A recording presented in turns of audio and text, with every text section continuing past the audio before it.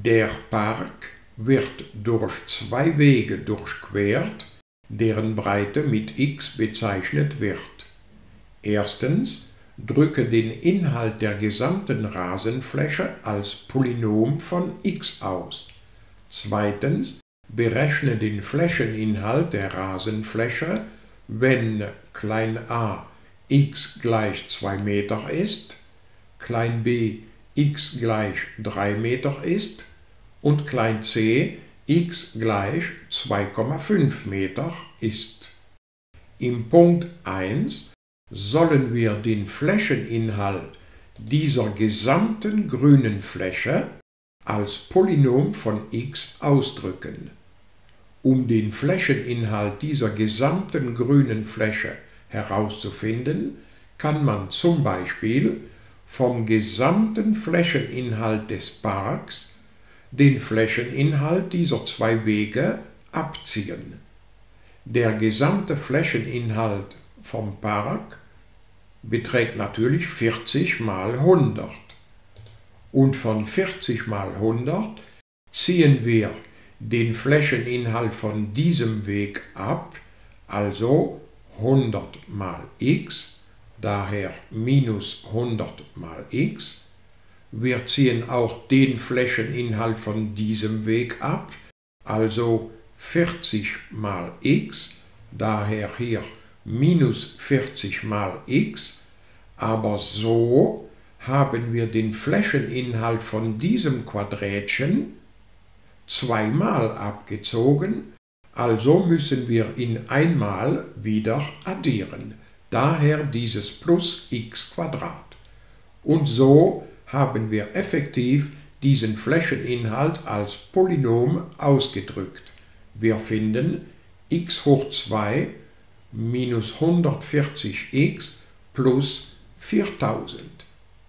Im Punkt 2a sollen wir diesen Flächeninhalt herausfinden, wenn x gleich 2 Meter ist. Dazu brauchen wir aber nicht diese Rechnung zu wiederholen für x gleich 2, sondern es reicht einfach x hier durch 2 zu ersetzen.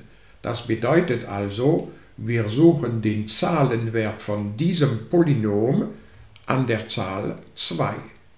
Wenn wir hier x durch 2 ersetzen, so ergibt das diese Rechnung.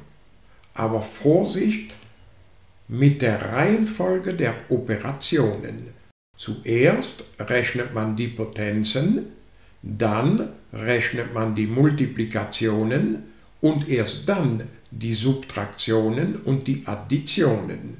Das heißt hier, wir rechnen zuerst 2 hoch 2, das macht 4, dann bleibt keine weitere Potenz, also kann man jetzt dieses Produkt rechnen, minus 140 mal 2, das macht minus 280, und jetzt bleiben nur noch Subtraktionen und Additionen.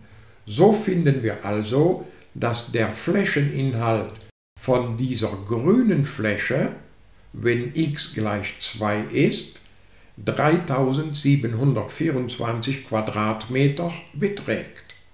Wenn x 3 ist, in klein b, reicht es, p von 3 zu berechnen, das heißt wir ersetzen hier x durch 3, wieder achten wir auf die Reihenfolge der Operationen, zuerst Potenzen, dann Multiplikationen und erst dann Subtraktionen und Additionen.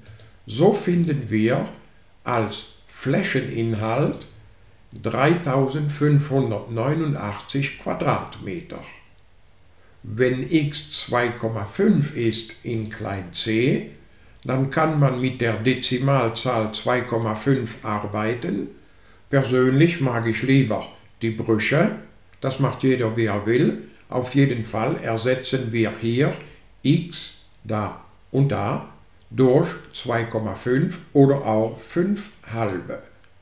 Wieder achten wir auf die Reihenfolge der Operationen und so finden wir in klein c, dass der Flächeninhalt von diesen grünen Flächen, wenn x gleich 2,5 ist, 3656,25 Quadratmeter beträgt.